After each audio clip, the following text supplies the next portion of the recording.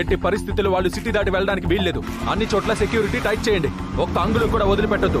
Search immediately తప్పించుకు తిరుగుతున్న రంబాజ్ గురించి ఎవరికి ఆచూకీ దొరికినా వెంటనే పోలీసులకు ఇన్ఫార్మ్ చేయండి. అమాయకుడు సార్ మా బావ. తెచ్చాడు సార్. ఇంకా పంతొమ్మిది వందల యాభై కాలంలోనే ఉన్నాడు సార్. శీలము మానవు అని పోరాటం చేస్తే సమాజం బాగుపడుతుందని పిచ్చి పిచ్చి కలడని కంటున్నాడు సార్. ఇక్కడ మనుషులు పీల్చే గాలి కల్తీ వదిలే ఆలోచనలు కల్తీ అని తెలీదు సార్ మా బావకి. ఇక్కడ మేము ఉండలేం సార్. వెళ్ళిపోతాం సార్. ఇన్నేళ్ళ నా జీవితంలో ఎంతో మందిని చూశాను. ఎవరెవరినో ఎదుర్కొన్నాను. ఎవడెవడితోనో ఫైట్ చేశాను. కానీ ఎవ్వడికి భయపడలేదమ్మా. నెవర్ గివ్ అప్ మెంటాలిటీ ఈ టెంపర్ మూర్తిది. ఆ జగ్గిల్లో ఉండే జంతువులో మానవత్వం చూశాను. కానీ ఈ కాంక్రీట్ జగ్గిల్లో మనసుల్లో మాత్రం రాక్షసులను చూశాను. ఆ అసురగణం దాటి సాటి మనిషిని చూశా. వాడే కాలీఫ్లవర్ తనకు అన్యాయం జరిగితే నిజాయితీగా పోరాడాడు. అదమ్మా వాడి క్యారెక్టర్. ఎవరో పాప ప్రాణం పోతే సొంత చెల్లెల్ని పోగొట్టుకున్నట్టుగా బాధపడుతున్నాడు. అదమ్మా వాడి సెంటిమెంటు అసలు ఈ ప్రపంచంలోనే రేర్ పీస్ మీ బావ.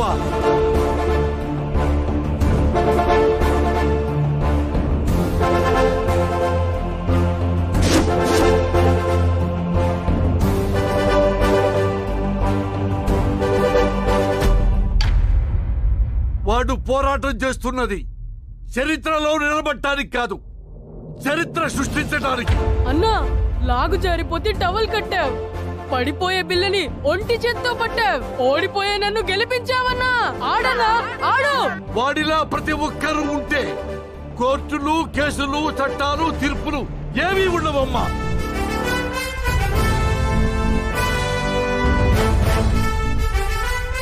వాడు ఓడిపోవటం ఏంటమ్మా? ఓడిపోడు వాడు ఓడిపోతే దేవుడే ఓడిపోయినట్టు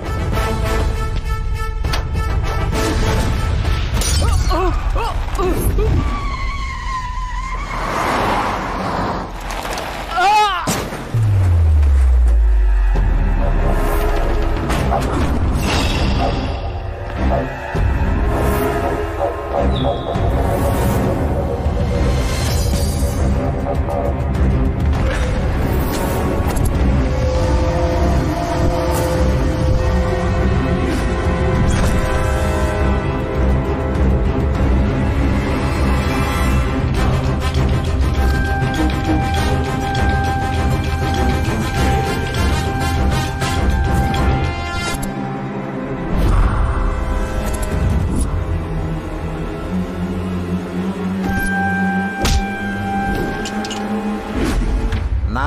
వంశీయులు భార్యను తప్ప పరాయి స్త్రీని తాకకూడదు.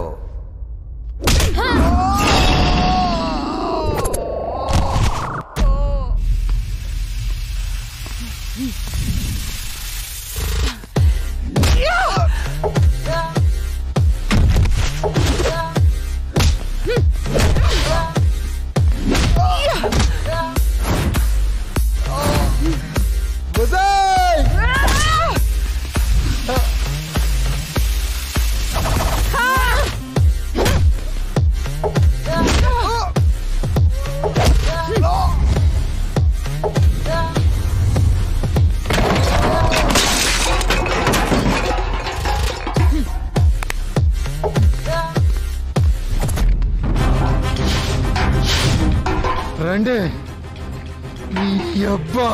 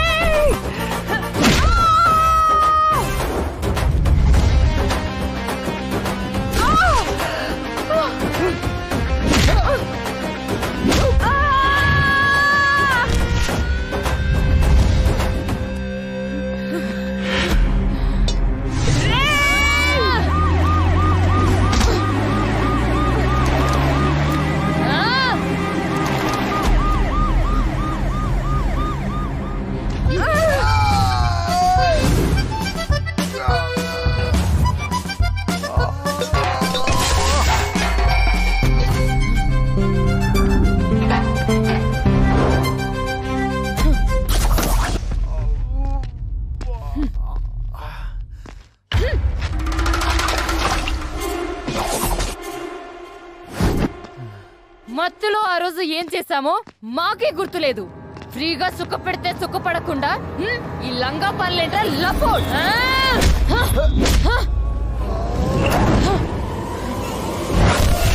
పిచ్చలు విడిగా ఎంజాయ్ చేసి మమ్మల్ని. పిచ్చి కుక్కల్లా రోడ్డు మీద పడేసావు కదరా. అన్ని దిక్కుల్లో ఎంజాయ్ చేస్తున్న మాకు ఏ దిక్కు లేకుండా చేసావు కదరా.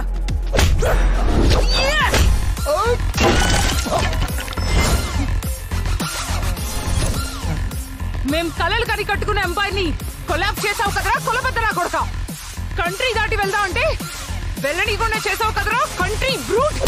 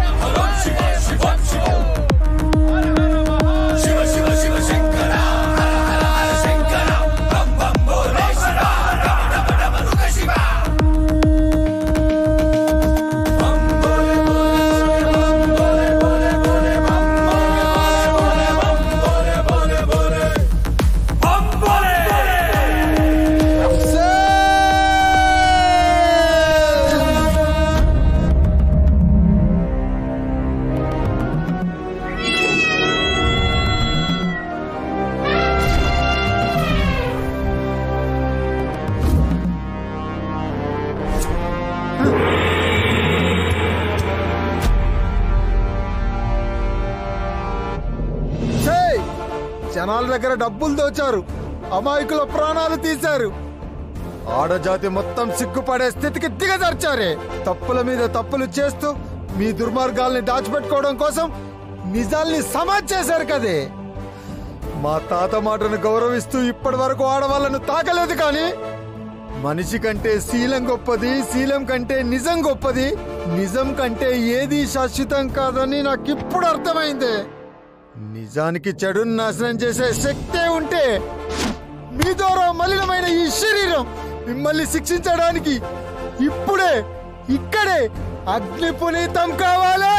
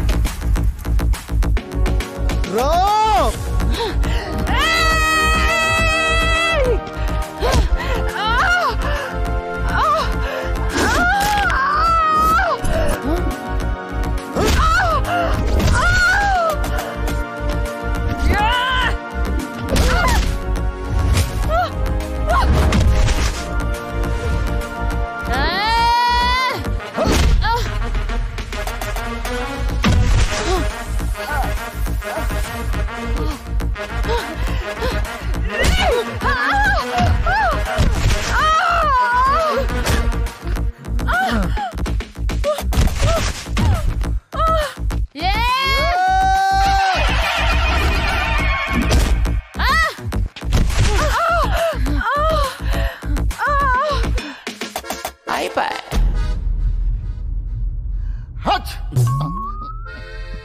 ఈరోజు ఏదో తేడాగా ఉంది. ఏమవుతుంది ఏంటో. నమస్తే సార్. నువ్వా? మళ్ళీ ఏం మార్చడానికి వచ్చావయ్యా? అప్పుడు మారుద్దాం అనుకున్న దాన్నే ఇప్పుడు మార్చాలని వచ్చాను సార్. మా తలరాతలు మారకుండా ఉంటే చాలు. మొదలెట్టండి కేసు. యువర్ ఆనర్ ఈ కాలీఫ్లవర్ అమాయకుడేమీ కాదు. ఇతను ఐడెంటిటీ క్రైసిస్తో బాధపడుతున్న మానసిక రోగి. లేకపోతే ఈ అందమైన అమాయకమైన ముగ్గురు అమ్మాయిలు తనని రేప్ చేశారని చరిత్రలో కనీ విని ఎరుగని కొత్త పాయింట్ తీసుకొచ్చి కోర్టుని కన్ఫ్యూజ్ చేస్తున్నాడు సార్. ఇవన్నీ క్రిమినల్ థాట్స్ సార్. ఇలాంటి వాళ్ళని విచారించకుండా ఉరి తీయాలి సార్. ఏంటి? నన్ను ఉరి తీయాలా? మద పిచ్చితో మత్తులో ఎంతో మంది జీవితాలతో ఆడుకున్న వీళ్ళని ఏం చేయాలి సార్? మత పిచ్చా. స్త్రీలను అందరి ముందు అనరాని మాటలన్నీ అంటున్నాడు సార్ ఇతను. ఇతను స్త్రీ ద్వేషి. ఇతనే కాదు ఎవరన్నారు చాలా ఇళ్ళల్లో మామలు అల్లుళ్ళు భర్తలు అందరూ ఇలాగే ఉన్నారు సార్. చూసారా? చూసారా సార్? ఆ పురుష అహంకారం. Order order. అహంకారం కాదు సార్. అవమానం తట్టుకోలేని ఆవేదన సార్. మగాడు పుట్టగానే వారసుడు పుట్టాడని సంబరాలు చేసుకుంటారు కానీ వారసుడు పడే కష్టాలేంటో తెలియదు సార్. తన అక్కలకి చెల్లెలకి పక్క పిన్నులు బొట్టు బిల్లలు తెచ్చిస్తాడు సార్. ట్యూషన్కి స్కూల్కి కాలేజీకి వాళ్ళతో వెళ్ళి బాడీగార్డ్గా ఉంటాడు సార్. ఆన్లైన్లో సినిమా టికెట్లు బుక్ చేసి ఇంటర్వెల్లో పాప్కార్న్ తెచ్చిచ్చేవాడే మేడం. మగాడంటే ఎక్కడో పుట్టి ఎక్కడో పెరిగిన ఓ స్త్రీమూర్తి అన్యాయం కాకూడదని తనకిష్టం లేకపోయినా తన వాళ్ళ ఇష్టం కోసం తనను పెళ్ళి చేసుకొని కొత్త జీవితాన్ని ఇచ్చేది కూడా ఈ మగాడే మేడం! అది రాజా. ఇంట్లో వాళ్ళందరికీ పట్టు చీరలు పంచి తన ఒంటి కోసం రెండు కాటన్ చొక్కాలు దండం మీద చూసుకొని మురుకుతాడు సార్. కిలోల కొద్ది బంగారం ఆ స్త్రీమూర్తులకిచ్చి తన పంచకున్న బంగారపు అంచును చూసుకొని అదే బంగారం అనుకొని మురిసిపోతాడు సార్.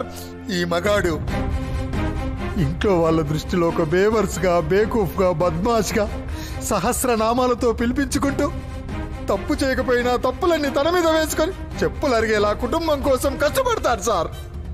పెళ్ళం మాటకెదురు మాట్లాడలేక తిట్టినా కొట్టినా బయట ప్రపంచానికి చెప్పుకోలేక ఇంత మంది వేసుకొని మూలల కుక్కిల పేడులా పడింటాడు సార్ మగాడు. భార్యకు నచ్చిన సీరియల్స్ చూపించడం కోసం తనకిష్టమైన క్రికెట్ వార్తల్ని వదిలేస్తాడు మేడం. ప్రపంచం మొత్తాన్ని గడగడలాడించిన ప్రెసిడెంట్ అయినా ఇంట్లో పెళ్ళాం ప్రోటోకాల్ తూచా తప్పకుండా పాటించే గొప్ప మనసున్న మహారాజు మేడం ఈ మగాడు. ఒక అన్నగా తమ్ముడిగా తండ్రిగా తాతగా బావగా బామ్మర్దిగా మామగా రకరకాల రూపాల్లో అవతరించిన విష్ణుమూర్తి పదకొండో అవతారమే మేడం. ఈ మగాడు. సభాష్ రాజా. సార్ ఈ మగాన్ని తప్పుగా చూడొద్దని చెప్పండి సార్. ఎక్కడో ఐదుగురు మగాళ్ళు చేసిన తప్పును తొంభై ఐదు శాతం మగాళ్ళ మీద నెట్టేసి మగజాతి మొత్తాన్ని దోషులుగా చూస్తున్నారు సార్. ఆ తొంభై ఐదు శాతం మగాళ్ళు పడే కష్టం గురించి మేడంకేం తెలుసు సార్? ఇంట్లో రోజు వచ్చే కష్టాలను సహనంగా భరిస్తూ స్కూల్లో ఫీజులు కట్టలేక ఆడపిల్లల పెళ్ళిళ్ళు చేయలేక వాళ్ళ కాళ్ళు వీళ్ళ కాళ్ళు పట్టుకొని అప్పులు చేస్తూ తిప్పలు పడుతూ ఎక్కడ పరుగు పోతుందో అన్న బాధతో కళ్ళల్లో జలపాతాన్ని దాచుకొని తన వాళ్ళ కళల్ని ఆశల్ని నెరవేరుస్తూ మండుతున్న గుండెల్ని చల్లబరుస్తూ కుటుంబ గౌరవం నిలబెట్టడం కోసం మగాడు ఒంటరి పోరాటం చేస్తూ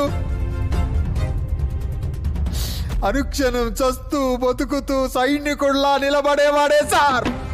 ఈ మగాడు ఈ మగాడు ఎనీ క్వశ్చన్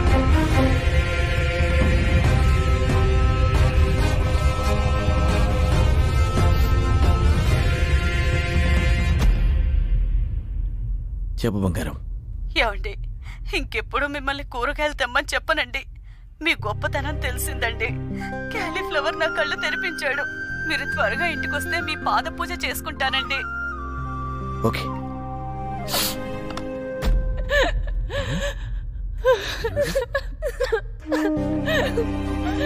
నో.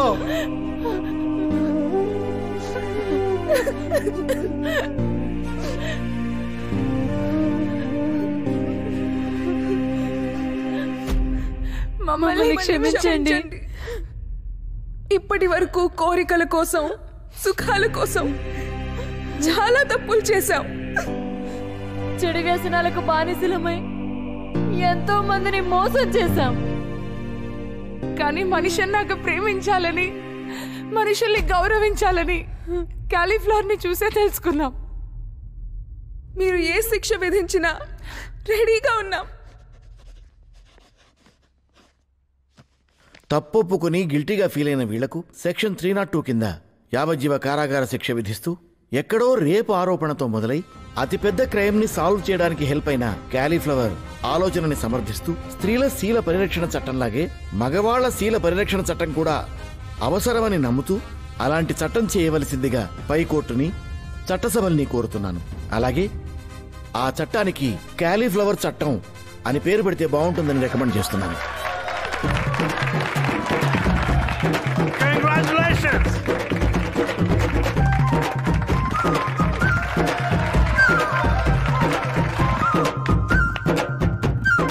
ఏమయ్యా పిఏ? చేసుకురావయ్యా రమ్ము.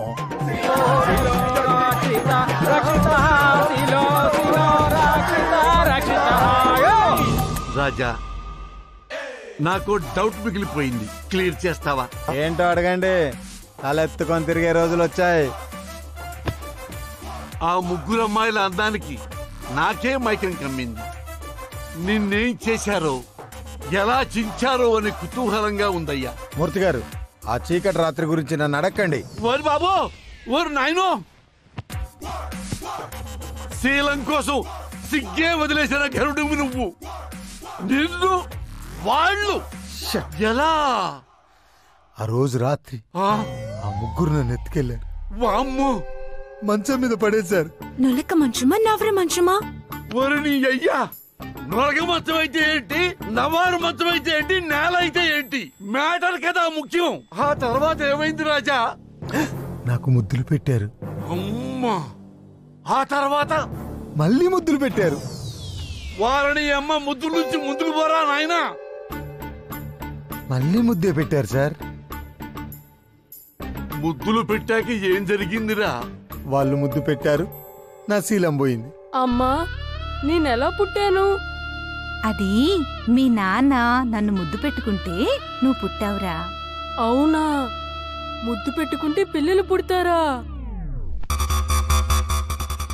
ముద్దులకే శిలం పోయిందని నమ్మి సిటీకి వచ్చి ఇంత పెద్ద కథ నడిపావా?